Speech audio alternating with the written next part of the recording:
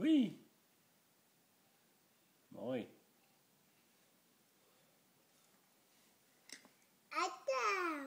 though. Eh. No.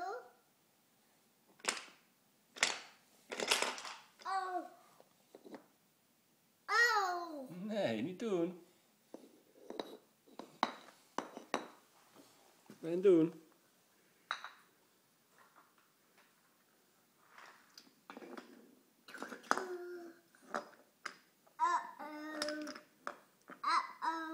Moet je hem even maken?